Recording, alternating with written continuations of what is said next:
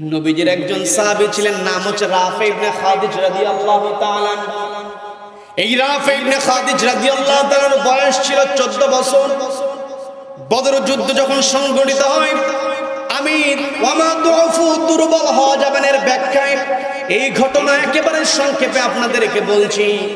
নবীজির সাহাবী রাফে ইবনে খাদিজ রাদিয়াল্লাহু তাআলা বয়স তার মাত্র 14 বছর বয়স। নবীজি মক্কা থেকে মদিনায় গিয়েছেন, হিজরত করেছেন। নবীজির বিরুদ্ধে ওই কাফেরদের ষড়যন্ত্র বন্ধ নাই, থেমে নাই। ওই কাফেররা বদরের প্রান্তরে নবীজির সঙ্গে যুদ্ধ করার যখন ঘোষণা দিয়ে দিল, নবীজি সাহাবীদেরকে ডাক দিলেন। নবীজি সাহাবীদেরকে ডাক দিলেন, ডাক দিয়ে বললেন, আমার সাহাবীরা, তোমরা কে কথা আছো? যুদ্ধের দামাবা বেজে গিয়েছি। বদরের প্রান্তরে আমাদেরকে একত্রিত হতে হবে। তোমরা কে আছো আমার সঙ্গে যুদ্ধের ময়দানে অংশগ্রহণ করবে? নবীজির 14 বছর বয়সী সাহাবী রাফি ইবনে খাদিজ রাদিয়াল্লাহু তাআলা তিনি নবীজির সামনে দাঁড়িয়ে গেলেন। নবীজি মুচকি হাসি দিয়ে দিলেন ছোট্ট সাহাবী। নবীজি মুচকি হাসি দিয়ে কথা আমরা এমন দিন পেয়েছি, এমন ইসলাম আমরা পেয়েছি, যেখানে মুচকি হাসি দিলে সব আছে বলেন আল্লাহু আকবার। আবার আল্লাহর ভয়ে যদি চোখ দিয়ে পানি পড়ে, আপনি হাসলেও সব, চোখ দিয়ে পানি পড়লেও সব আল্লাহু আকবার। নবী যখন মুচকি হাসি দিয়ে কথা বললেন, নবীজি বলতেছেন ওরা তোমার তো বয়স কম। এই এত অল্প বয়সে ছোট মানুষ, তোমাকে যুদ্ধে যাওয়ার অনুমতি আমি এই মুহূর্তে দিব না। তোমাকে যদি প্রয়োজন হয়, প্রয়োজন হলে তোমাকে ডেকে নেওয়া হবে। এই মুহূর্তে তোমার যুদ্ধে যাওয়ার দরকার নাই। তুমি ছোট মানুষ নবীজি যখন তাকে নিষেধ করলেন, ছোট্ট সাহাবি মনটা একটু খারাপ হয়ে গেল। যখন ওই ছোট্ট সাহাবি চেহারা যখন মলিন হয়ে গিয়েছে, নবীজি বলেন ও রাফিয়া, তুমি যুদ্ধে যাওয়ার জন্য এই যে নিয়ত করেছ, এই নিয়ত করার ফলে যুদ্ধের ময়দানে যুদ্ধ করলে যে সব সেই সব আমল নামে আল্লাহ যুক্ত করে দিয়েছেন বলেন, সুবহানাল্লাহ। ছোট্ট সাবি খুশি হয়ে গেলেন, বাড়ি চলে গেলেন। নবীজি সাহাবিদের কিনে বদরের প্রান্তরে চলে গেলেন। বদরের প্রান্তরে নবীজি যে সমস্ত সাহাবিদেরকে নিয়ে গিয়েছিলেন, ওই সমস্ত সাহাবিদের তেমন কোনো ট্রেনিং ছিল না। ওই সমস্ত সাহাবিদের তেমন কোনো অস্ত্র ছিল না। তারপরও রব্বুল আলামিন বিজয় দান করেছিলেন, সম্মানিত করেছিলেন। আমি আপনি যদি সম্মানিত হতে চাই, আমি আপনি যদি সম্মান পেতে চাই রব্বুল আলামিন সেই শর্তটা জানিয়ে দিলেন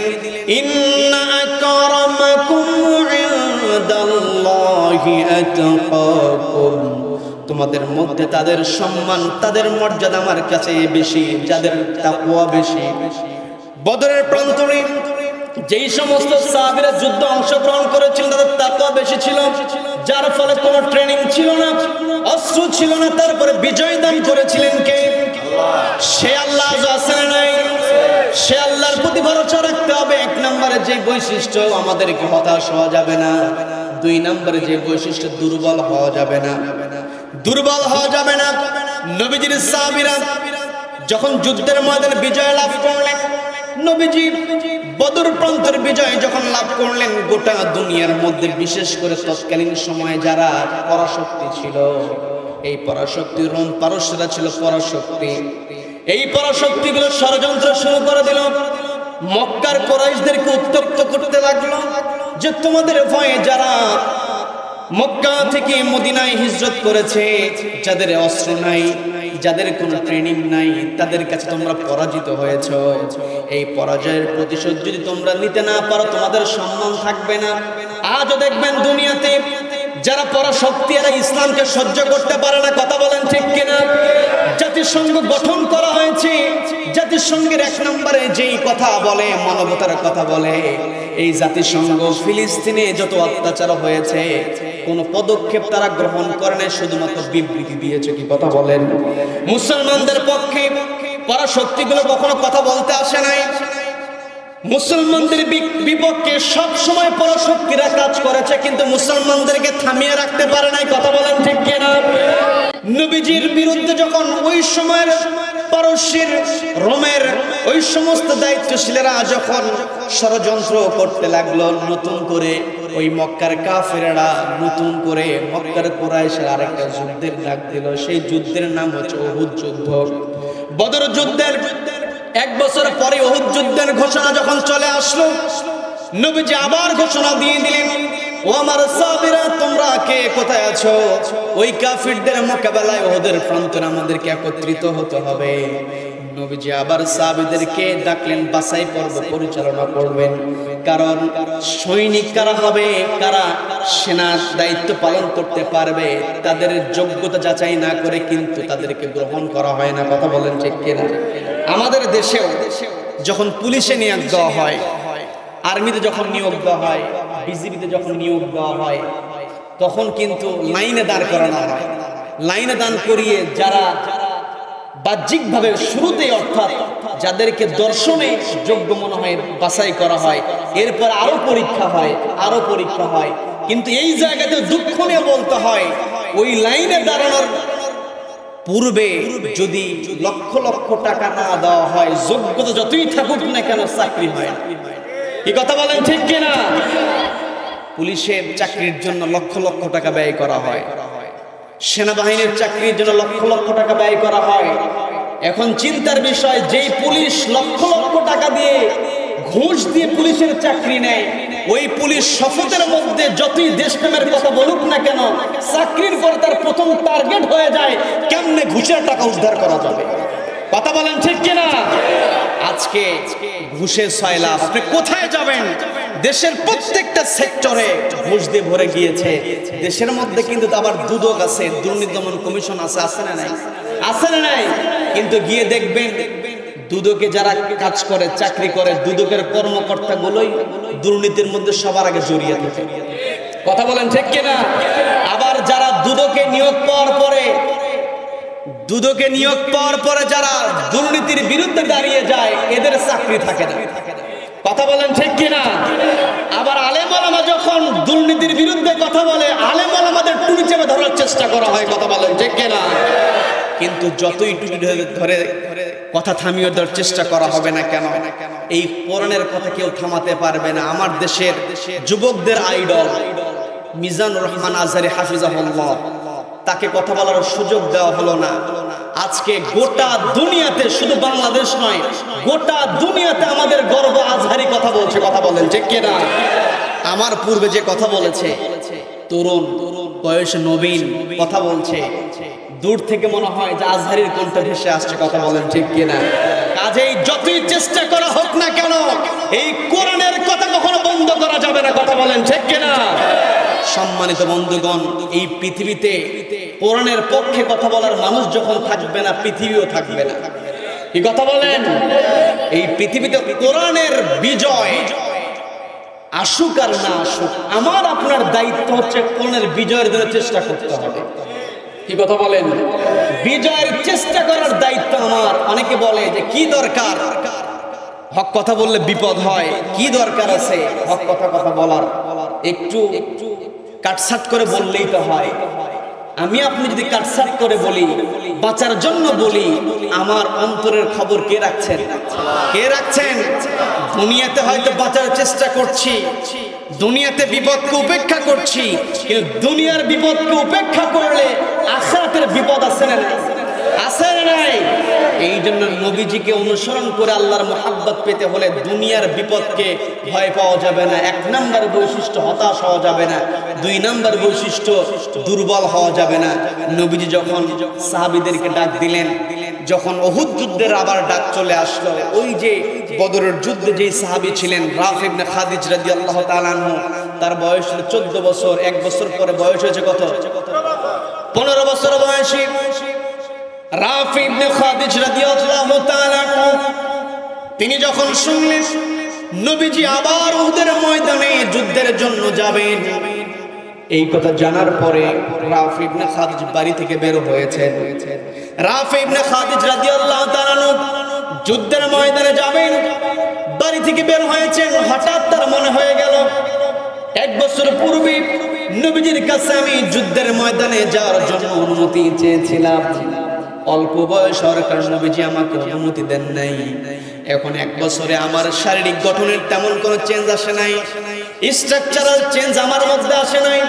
আমি যদি এই মুহূর্তে নবীজির কাছে গিয়ে অনুমতি চাই, নবীজি হয়তো আমাকে অনুমতি নাও দিতে পারেন। এই কথা চিন্তা করে রাফ ইবনে খাদিজ রাদিয়াল্লাহু তাআলা তার মামার কাছে চলে গেলেন। মামার কাছে গিয়ে মামাকে শুরুতেই প্রশ্ন করছেন আমার মামা, আমি যে ভালো তীর নিক্ষেপ করতে পারি, এটা কি আপনার জানা আছে নাকি? মামা জবাব দিয়ে বলছে হ্যাঁ ভালো তীর নিক্ষেপ করতে পারো, এটা তো এলাকার সবাই জানে। লোকালয়ের সব মানুষই জানে তুমি ভালো তীর নিক্ষেপ করতে পারো। কিন্তু আজকে হঠাৎ করে আমাকে এই প্রশ্ন করার কারণটা কি? এই কথা যখন মামা তার ভাগিনাকে বলল, ভাগিনা জবাব দিয়ে বলছেন মামা, এক বছর পূর্বে আমি বদরের প্রান্তরে যাওয়ার জন্য, বদরের যুদ্ধ অংশগ্রহণ করার জন্য নবীজির কাছে আমি অনুমতি চেয়েছিলাম। অল্প বয়সী হওয়ার কারণে নবীজি আমাকে অনুমতি দেয় নাই। আবার শুনেছি নাকি বহুত যুদ্ধের ডাক এসেছে। আমি নবীজির কাছে গিয়ে যুদ্ধে যাওয়ার অনুমতি চাইব। কিন্তু নবীজি যদি আমাকে অল্প বয়সী হওয়ার কারণে যুদ্ধে যাওয়ার অনুমতি না দেন, তখন আপনি আমার জন্য একজন তীর নিক্ষেপকারী হিসেবে তীরন্দাজ হিসেবে যদি সুপারিশ করেন, নবীজি তীরন্দাজ হিসেবে আমাকে অনুমতিও দিতে পারেন বলেন আল্লাহু আকবার। বয়স কিন্তু একেবারেই কম, পনেরো বছর বয়স। পর্দালের মা বোনেরা শুনছেন, একটু কানটা খাড়া করে শুনবেন। এখানে যারা অভিভাবক আছেন, একটু মনোযোগ দিয়ে বোঝার চেষ্টা করবেন। আপনাদের দৃষ্টি আকর্ষণ করে বলছি, সেটা হলো আমাদের মধ্যে অনেক একটা টেন্ডেন্সি লক্ষ্য করা যায়। সেটা হলো সন্তানের বয়স যদি বারো বছর, পনেরো বছর, ষোলো বছর, বিশ বছর হয়, সন্তানকে নামাজের জন্য তাগিদ দেয় না। সন্তানকে নামাজের তাগিদ দেয় না। বলে বয়স এখন কম। আরেকটু বড় হলে নামাজ পড়বে, এমন চিন্তাওয়ালা মা আছে না নাই? এমন চিন্তাওয়ালা বাবা আছে না নাই? আপনাদের দৃষ্টি আকর্ষণ করে বলছি, সেটা হলো নবীজির সাহাবী রাফি ইবনে খাদিজা রাদিয়াল্লাহু তাআলা আনহু। বয়স পনেরো বছর ইমানটা কেমন? যুদ্ধের ময়দানে যাওয়ার জন্য মামাকে নিযুক্ত করলেন, মামাকে সুপারিশকারী হিসেবে নিয়ে নিলেন। এই জায়গা থেকে আমাকে আপনাকে মেসেজ নিতে হবে। সেটা হলো, সন্তানকে আদর্শ সন্তান বানানোর জন্য সন্তানের মনের মধ্যে নবীজির ভালোবাসা পয়দা করতে হবে। কথা বলেন ঠিক কিনা? এই কথা বলেন? সন্তানের মনের মধ্যে নবীজির প্রতি ভালোবাসা, নবীজির মহাব্বত, নবীজির আদর্শে সমাজ থেকে যে অন্যায় দূর করা যায়, এই শিক্ষাটা সন্তানকে ছোটবেলা থেকেই দিতে হবে। কারণ ছোটবেলা থেকে সন্তান শিক্ষা গ্রহণ করে, আর সন্তানকে ছোটবেলা থেকে যদি আপনি নামাজের শিক্ষা দিতে পারেন, এই সন্তান ছোটবেলায় নামাজের শিক্ষা পেলে, এই সন্তান বড় হয়ে সমাজের মধ্যে নামাজ কায়েমের আন্দোলন করবে, কথা বলুন ঠিক কিনা? কিন্তু সন্তানকে যদি আমরা ছোটবেলায় শিক্ষা না দিতে পারি তাহলে এই সন্তান বড় হয়ে বিপদে চলে যায়। আমাদের কাছে অনেকে দোয়া আছে হুজুর, আমার সন্তান কথা শুনতে চায় না। নামাজের কথা বলি, নামাজ পড়তে চায় না। এত কথা বলি, শুধু রেগে যায়। আপনাকে ছোটবেলা থেকেই ট্রিটমেন্ট ভালো করতে হবে। তাকে শিক্ষা দিতে হবে। আর পরিবার থেকে সবার আগে সন্তানকে শিক্ষা দিতে হবে একটি কিতাবের শিক্ষা। সেই কিতাবের নাম কি? কিতাবের নাম কি? যার মধ্যে কোরআন আছে, ওই ব্যক্তি নিজের ভিতরে যে অন্ধকার আছে এটা দূর করতে পারবে। কিন্তু যার মধ্যে কোরআন নাই, সে যত বড় ইউনিভার্সিটি থেকে ডিগ্রি অর্জন করুক না কেন, যত বড় বিশ্ববিদ্যালয় থেকে সে সার্টিফিকেট অর্জন করুক না কেন, এই সার্টিফিকেট তাকে অন্যায় থেকে দূরে রাখতে পারবে না। আজকে আমার দেশে প্রত্যেকটা বড় বড় অফিসার যারা আছে, যারা ফাইল আটকিয়ে হাজার হাজার কোটি টাকা আত্মসাৎ করে, এরা সবাই কিন্তু ইউনিভার্সিটি থেকে শিক্ষা অর্জন করেছে। ইউনিভার্সিটির শিক্ষা আছে, কিন্তু প্রকৃত করণের শিক্ষা না থাকার কারণে সমাজের প্রত্যেকটা জায়গায় দুর্নীতি রন্ধ্রে রন্ধ্রে গিয়েছে, কথা বলেন ঠিক কিনা? এই সমাজ থেকে দুর্নীতি দূর করতে হলে কোরআনকে সামনে রেখে আমার আপনার জীবন যাপন করতে হবে, আর এই কোরআনের শিক্ষা, কোরআনের মহাব্বত সন্তানকে ছোটবেলা থেকেই দিতে হবে, সন্তানকে ছোটবেলা থেকে নামাজের শিক্ষা দিতে হবে। একটা পরিবারের সন্তানকে নামাজি বানানোর জন্য সবচাইতে বড় ভূমিকা পালন করেন পরিবারের মা। কি কথা বলেন যেই পরিবারের মা নামাজি, পর্দালের মা বোনের শুনছেন, একটি কানটা খারাপ করে শুনবেন, সেই পরিবারের সন্তান নামাজি হয়ে যায়। লক্ষ্য করলে দেখা যায় আপনারা এক্সাম্পল দিয়ে বুঝতে পারবেন, সন্তানের বয়স আড়াই বছর, তিন বছর। যেই মা নামাজি হয় মসজিদের মিনার থেকে যখন আদান চলে আসে, মা তার কাজকর্ম এক পাশে ফেলে অজু বানিয়ে যায় নামাজে দাঁড়িয়ে যায়। প্রত্যেক দিন লক্ষ্য করে যে মা যায় নামাজে দাঁড়িয়ে নামাজ আদায় করে। এটা দেখতে দেখতে এমন দৃশ্য আমাদের সামনে চলে আসে। মা নামাজের জন্য যায় নামাজ বিছিয়ে দিয়েছে। মা যায় নামাজ বিছিয়ে দিয়েছে। মা যায় নামাজে দাঁড়াবে। কিন্তু সন্তান প্রত্যেক দিন দেখে কোনটা রুকু কোনটা সেজদা, সেটা বোঝে না। সে একটা জিনিস বোঝে যে কপালটা মাটিতে ঠেকাতে হয়। সেজদাও সে বোঝে না। মাকে সুযোগ না দিয়ে তৈরি ঘড়ি করে তিন বছরের বাচ্চা যায় না, আমাদের দেয় দৃশ্য আছে না নাই? আছে না নাই? এখন মা যদি নামাজ না পড়ে, সন্তান সেজদা দেওয়া শিখবে? শিখবে না। এই জন্য আমি প্রায় একটা এক্সাম্পল দিই, সেটা হলো, একটা পরিবারে সন্তানের প্রধান শিক্ষিকা হচ্ছেন মা। এই পরিবারটাকে আমাদের আদর্শ শিক্ষা প্রতিষ্ঠান মনে করতে হবে। আমরা তো আজকে বসেছি, প্রাইমারি স্কুলের মাঠে আমরা বসেছি। এই প্রাইমারি স্কুল, পরিবারকে যদি আমরা প্রাইমারি স্কুলের সঙ্গে তুলনা করি, তাহলে পরিবার নামক প্রাইমারি স্কুলের প্রধান শিক্ষিকা হবেন এক একজন মা কথা বলেন ঠিক কেনা? পরিবারকে যদি আমরা হাই স্কুলের সঙ্গে তুলনা করি, তাহলে পরিবার নামক হাই স্কুলের প্রধান শিক্ষক হবেন এক একজন মা কথা বলেন ঠিক কিনা? পরিবারকে যদি আমরা কলেজের সঙ্গে তুলনা করি, তাহলে পরিবার নামক কলেজের প্রিন্সিপাল হবেন এক একজন মা দেখেন, ঠিকের পরিমাণ কমে গেছে। চিন্তায় পড়ে গেছে প্রাইমারি স্কুলের প্রধান এটাও মা হাই স্কুলের প্রধান এটাও মা কলেজের প্রিন্সিপাল এটাও মা সব প্রধান যদি মায়েরা হয়ে যায়, তাহলে আমার বাবারা কি করব? এই জন্য ঠিক আর কেউ বলে না। চিন্তিত হওয়ার কোনো কারণ নাই। মা যদি পরিবার নামক শিক্ষা প্রতিষ্ঠানের প্রধান শিক্ষিকা হন, বাবা হবে পরিবার নামক শিক্ষা প্রতিষ্ঠানের গভর্নিং বডির সভাপতি। কথা বলেন ঠিক কিনা?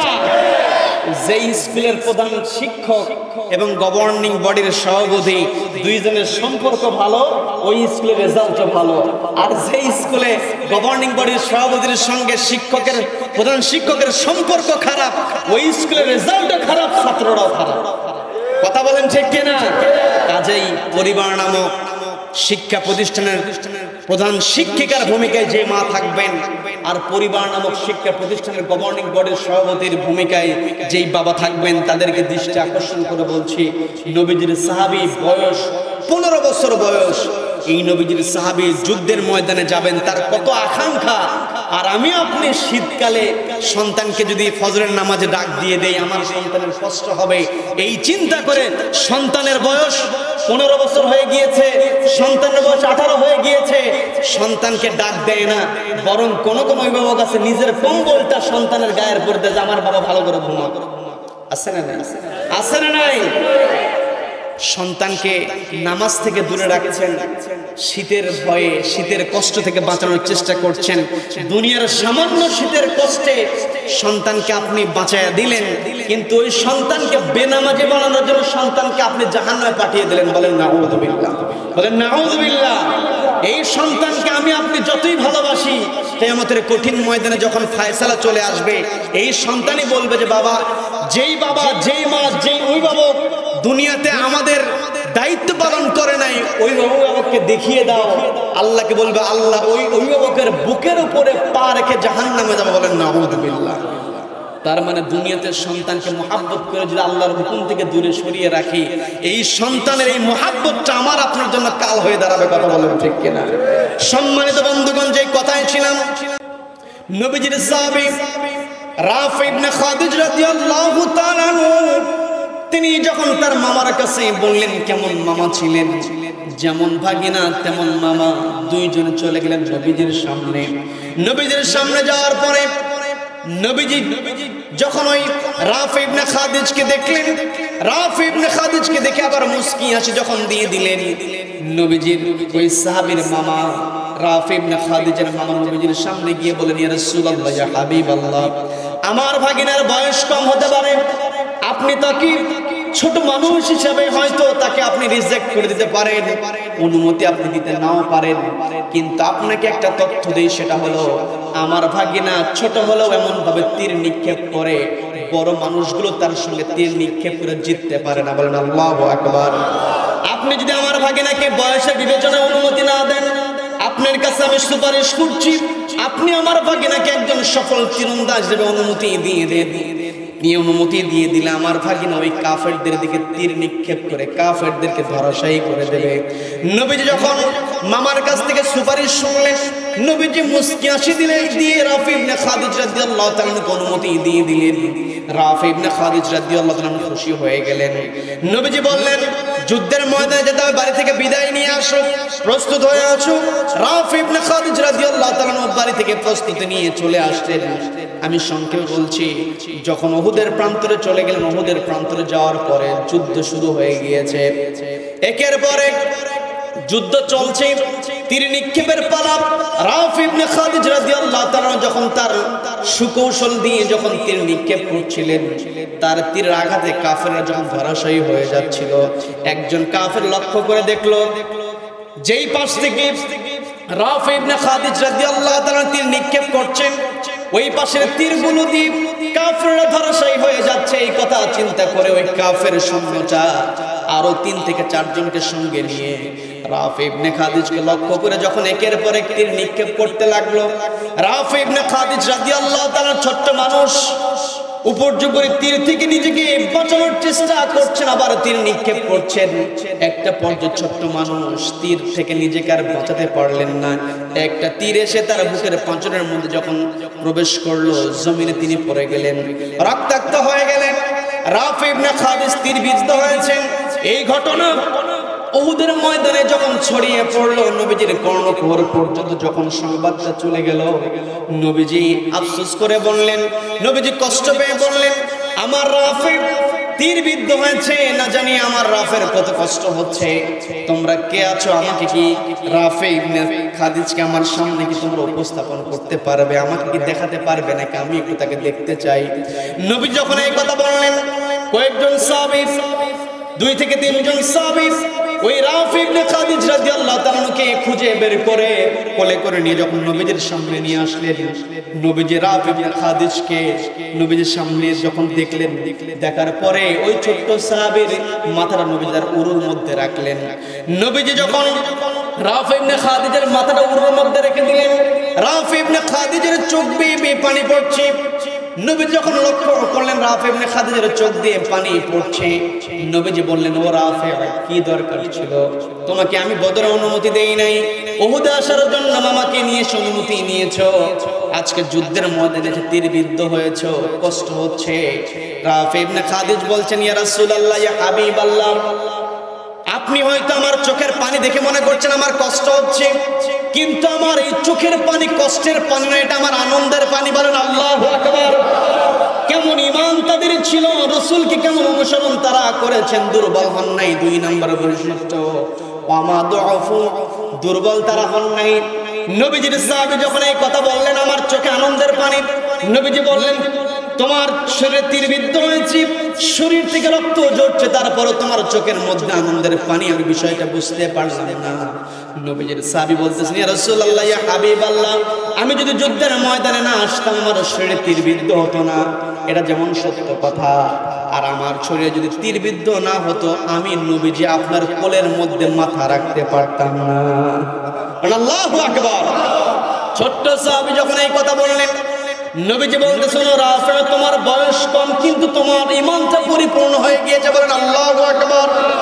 রাফি ইবনে খাদিজ বলতেছেন, ইয়া রাসূলুল্লাহ, ইয়া হাবিবাল্লাহ, আমার ইমান কতটুকু পরিপূর্ণ হয়েছে এটা তো আমি বলতে পারব না। আপনি সত্য বলেছেন, যথার্থ বলেছেন, কিন্তু আমার মনের মধ্যে এখন একটা আকাঙ্ক্ষা অপূর্ণ হয়ে গিয়েছে। নবীজি বললেন, তুমি আজকে যেই আকাঙ্ক্ষার কথা বলবেন, সে আকাঙ্ক্ষা পূর্ণ করা হবে সুবহানাল্লাহ। নবী যখন এই কথা বললেন, রাফ ইবনে খাদিজ বললেন, ইয়া রাসূলুল্লাহ, ইয়া হাবিবাল্লাহ, আপনি যখন আমাকে যুদ্ধে আসার অনুমতি দিয়েছেন আমি অনুমতি পাওয়ার পরে বাড়ি থেকে যখন বিদায় নিয়েছি, বাড়ি থেকে বের হওয়ার পর আমি নিয়ত করেছি। আমি ওদের ময়দানে শহীদ হতে চাই। আমি দুনিয়াতে শহীদ হয়ে যাব। আর বাড়িতে ফিরবো না, একেবারে ওই রক্তাক্ত দেহ নিয়ে কেয়ামতের ময়দানে ওদের শহীদ হিসেবে উঠতে চেয়েছিলাম। কিন্তু আমার শরীর এখন তীরবিদ্ধ হয়েছে। আমার মনে হচ্ছে আমার শরীর থেকে তীর বের করার পরে আমার চিকিৎসা করলে আমি সুস্থ হয়ে যাব। আর এই অসুস্থ শরীর নিয়ে তো আপনি আমাকে ওদের ময়দানে যুদ্ধ করার অনুমতি দিবেন না। আমি যদি সুস্থ হয়ে যাই তাহলে তো আমার শাহাদাতের যে আকাঙ্ক্ষা এটা অপূর্ণ হয়ে যাবে। এই কথা বলার পরে নবীজি বলতেছে তোমার এখনও সুযোগ আছে? তোমার শরীর থেকে আমি যে তীরটা বের করে নেব, ওই তীর আমি দুইটা উপায়ে বের করতে পারব। কয়টা উপায়ে সবাইকে বলতে কয়টা উপায়? দুইটা উপায় আমি বের করতে পারব। একটা উপায় হলো, তোমার শরীর থেকে আমি তীরের ফালা সহ তীরটা বের করে নিতে পারব। আমি যদি তোমার শরীর থেকে তীরের ফলা বের করে নেই, তীরের ফলা বের করে নেওয়ার পরে তুমি তোমার যে আকাঙ্ক্ষা, এটা হলো তোমার মর্যাদা তখন হবে তুমি উহুদের একজন গাজী। কিন্তু তোমার শরীরের মধ্যে আমি তীরের ফলা রেখে দিয়ে শুধুমাত্র কাঠিটা যদি বের করে নেই, তোমার শরীরে আমার তীরের ফলা থেকে যাবে। ওদের ময়দানে তোমার শরীরে বিদ্যা ফলা তোমার দেহের মধ্যে থাকবে। এই দেহের মধ্যে থাকা অবস্থায় তুমি যখন দুনিয়া থেকে বিদায় হবে, তুমি যখন কেয়ামতের ময়দানে উঠবে, তোমার দেহের মধ্যে ওই ফলাটা থেকে যাবে, আর ওই ফলাটাকে আমি আল্লাহর সামনে সাক্ষী হিসাবে তোমার জন্য শহীদ হিসেবে সুপারিশ করব না আল্লাহ একবার কিন্তু কথা হলো, তোমার শরীরের মধ্যে তীরের ফলা থেকে যায়, এই লোহার টুকরো তোমার শরীরে থাকার কারণে এই ক্ষতস্থান কখনো শুকাবে না, তোমার ব্যথা থেকে যাবে গর্ত তোমার থেকে যাবে, এই কষ্ট তোমাকে সহ্য করতে হবে। নবী যখন এই কথা বলেন, রাফ ইবনে খাদিজ বলেন, ইয়া রাসূলুল্লাহ, ইয়া হাবিবাল্লাহ, আমি দুনিয়ার কষ্ট করতে রাজি আছি, তবুও শাহাদাতের দরজা ছাড়তে আমি রাজি নই। সুবহানাল্লাহ। নবীজির সাহাবী রাফ ইবনে খাদিজ যখন এই কথা বললেন, নবীজি রাফ ইবনে খাদিজের শরীর থেকে শুধুমাত্র তীরের কাঠিটা বের করে নিলেন। তীরের ফলাটা নবীজি ওই রাফ ইবনে খাদিজের শরীরের মধ্যে রেখে দিলেন। রাফ ইবনে খাদিজের বয়স তখন কত? সবাইকে বলতে হবে। সবাইকে বলতে হবে। পনেরো বছর বয়সে রাফ ইবনে খাদিজের শরীরে তীর বিদ্ধ হয়েছে। আর যেই দিন রাফ ইবনে খাদিজ রাদিয়াল্লাহু তাআলা দুনিয়া থেকে বিদায় হয়েছে সেই দিন রাফ ইবনে খাদিজের বয়স হয়েছিল 86 বছর। আল্লাহু আকবার! তার মানে 86 থেকে যদি আমরা পনেরো বাদ দিয়ে দিয়ে একাত্তর বছর তিনি শরীরের মধ্যে তীরের ফলা রেখেছেন একমাত্র কার সন্তুষ্টির জন্য? কার সন্তুষ্টির জন্য? তার মানে যারা রসুলকে অনুসরণ করবে, তাদের দুই নম্বর যে বৈশিষ্ট্য হবে অমা দফু তারা কখনো দুর্বল হবে না। তিন নম্বর যে বৈশিষ্ট্য মাস্তাকানো তারা কি থাকবে? দৃঢ় হয়ে থাকবে। তারা, তাদের যে উদ্যমটা আছে, এই উদ্যমটা তারা কখনো হারাবে না। দেখবেন যারা ইসলামী আন্দোলন করে হক কথা বলে, তাদের যত ষড়যন্ত্রই করানো হক না কেন, যত তাদেরকে বিপদেই ফেলা হোক না কেন, যত বিপদে ফেলা হয়, ওই ইসলামী আন্দোলনের কর্মী তত উদ্যমী হয়, কথা বলেন ঠিক কিনা? কথা বলেন ঠিক কিনা? নবীজির সাহাবী বেলাল রাদি আল্লাহ তালানুকে ইসলাম কবুলের কারণে যখন রিমান্ডে নেওয়া হলো উত্তপ্ত বালির উপরে যখন শুয়ে রাখা হয়েছে, যত কষ্ট দেওয়া হয়, বেলাল রাজি আল্লাহ ততই বলে আহাদ আহাদ, বলেন আল্লাহ আকবার। তার মানে নবীজির ভালোবাসা, নবীজির অনুসরণ আমি আপনি যদি করতে পারি, নবীজিকে যদি অনুসরণ করতে পারি, আমাকে আপনাকে ভালোবাসবেন কে? কে ভালোবাসবেন? এখন আমি আপনি যদি বিগত দিনে যদি অপরাধ করে থাকি, আমার আমল নামায় যদি গুণা থেকে থেকায় আমার আমল নামায় যদি অপরাধ থাকে, তাহলে তো আল্লাহ রব্বুল আলমিন ভালোবাসবেন না। এই জন্য আল্লাহ জানিয়ে দিলেন, শুধুমাত্র আল্লাহ ভালোবাসবেন তা না ওয়াগা ওয়াগা ফিরলাকুম আল্লাহ বললেন, যেই ব্যক্তি রসুলকে অনুসরণ করবে তার পর্যন্ত মাফ করে বলেন আল্লাহ তার মানে আমাদের যে ভুল ভ্রান্তি আছে যদি আমরা রসুলকে অনুসরণ করতে পারি, সেই গুণা আমাদের ক্ষমা করে দেবেন কে? কে ক্ষমা করে দেবেন? দেখেন, নবীজি, নবীজির অনুসরণের ফলে আল্লাহ রব্বুল আলমিন আমাদেরকে কেমন ক্ষমা করবেন? দুনিয়াতে যখন কোনো আসামিকে গ্রেফতার করা হয়, তাকে আদালত উঠানোর পরে তার নামে যখন অপরাধের জন্য যখন তাকে শাস্তি দেওয়া হয়, দশ বছর, পনেরো বছর জেল খাটার পরে, শাস্তি ভোগ করার পরে আসামি জেল থেকে বের হয়ে আসে। বের হয়ে আসার পর আপনি যদি পঞ্চাশ বছর পরও সেই জেল জেল হাজতের যেই তালিকা যেটা আছে কারাগারের যে তালিকা আছে, অপরাধীদের যে তালিকা আছে, বিশ বছর পরে যদি আপনি সেই ভলিউম বুকটা বের করেন, দেখবেন শাস্তি ভোগ করেছে। তারপরও ভলিউমের মধ্যে অপরাধীর তালিকায় ওই আসামির নাম আছে না নাই? আছে। দুনিয়াতে ক্ষমা করা হয় কেমনে? ক্ষমা করে দিলেও শাস্তি দিয়ে দিল অপরাধীদের তালিকায় তার নাম থাকে।